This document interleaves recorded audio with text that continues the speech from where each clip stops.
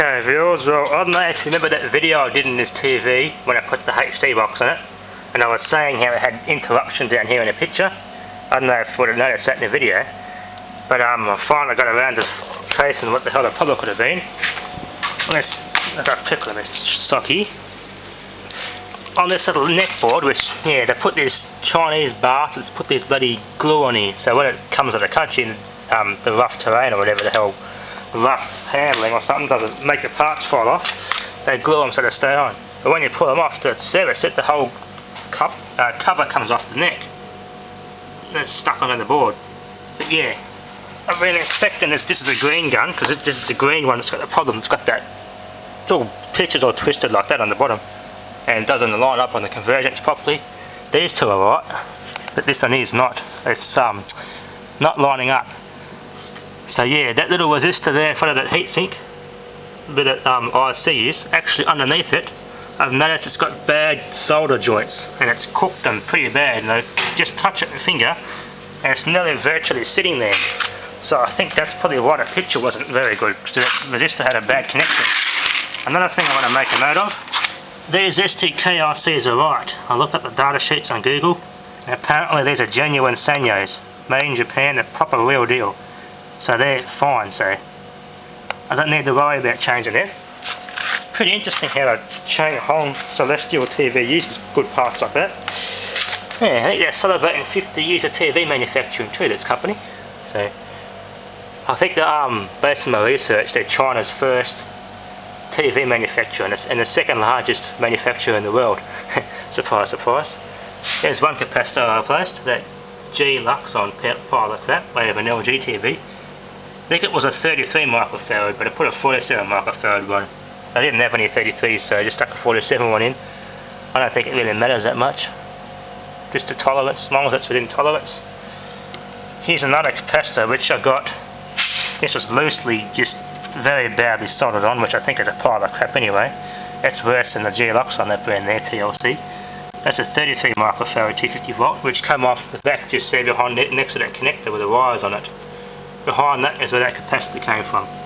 I'm going to be replacing that with this G-Luxon 250 volt, same voltage rating, 47 microfarad instead of 33, so, yeah, I don't know what the hell those, they had TLC capacitors fail on me before, so I'm not putting that one there back in. That's going to go in, then what a soldering iron's heating up, I'm going to touch up that resistor, wrap that capacitor in. So you got to be very careful here. And this TV hasn't been turned on in a while, so just be very cautious when you're working on things like this. And when you're working on CRTs, be very careful around the neck. You don't want to neck the tube or break those pins off, or do any sort of damage to the tube. So yeah, here's a tricky part, is getting that capacitor in, and not breaking the traces off, which I've done here. The traces actually came off, so I had to push them up and solder them, and it's just sitting on there now. Luckily they're still attached, so there's a very low quality circuit boards on this TV.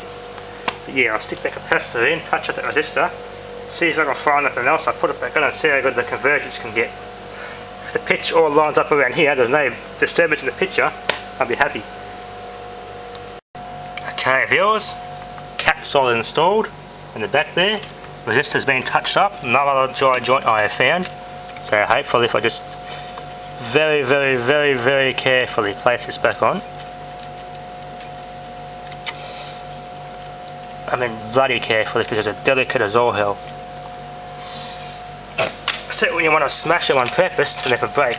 But yeah, be very careful with CRTs. Not only could it be cautious, but take care that there's no high voltage still charged in a meter, so there's always be a pain in the ass to work on these sorts of TVs because of that. Everything's in a bad spot. But yeah, that's all put back in. Now have an inspection at the back. Can see from the back, there's that top board which is hard to service because that doesn't come off. Just too much involved. But yeah, that's all put back in. Everything over here is okay. I still experiencing um, a bad connection through here somewhere when I plug, uh, plug a signal into it. It's not the RCA cable, it's in here somewhere. I've got to inspect it here for any um, bad connection. So look, at, I'll look in here, then we can do a test and we'll plug the HD box into it. We'll see if that um, green gun there, it's got better convergence. So yeah, I've got the air cooler going because it's damn hot in here so I'll shut this off we'll fix that. Okay viewers, well after I take, took this thing off that's kind of flimsy. That might have had stress for that at one time. And down here where the pins are connected I've got to probably yeah got a couple of broken solder tracks to resolder but and now to diagnose that puzzle for sure I'm going to plug a signal in and wobble that see what happens. Okay viewers, well I'm still getting that structure in the picture here. I don't know where it's actually coming from but well, I got the signal bit fixed up so that's working better. Touched up a couple of bad connections and the video input's working good now. Got the wrong remote. There we go, it's picking up something that I don't know what it's doing that for but yeah, bit of an interruption. There we go, AV1. Now if I press the help button, you'll see with a picture I don't know why the green's out like that though. I thought that resistor with a cracked joint would have fixed that, but there must be something else going on. The metal's good, but here it's all bent.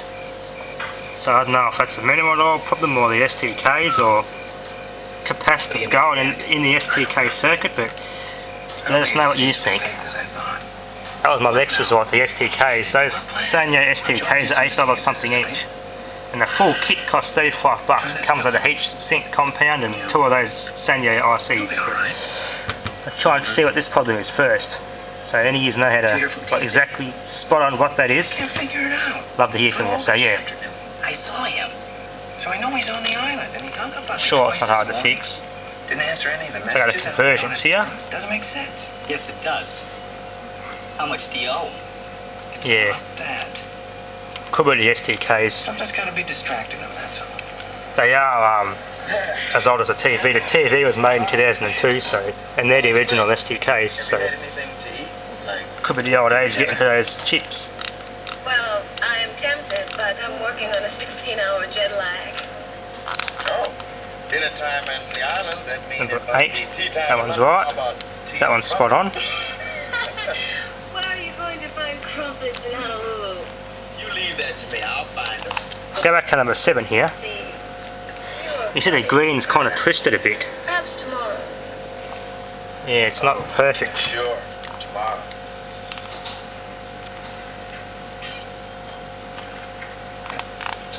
Get, out of this menu.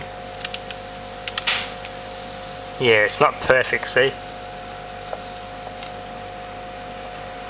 Anyway, yeah, that's the other problems that just need to be fixed. I'm just going to try and solve this convergence problem and that, yeah, and this out of line problem.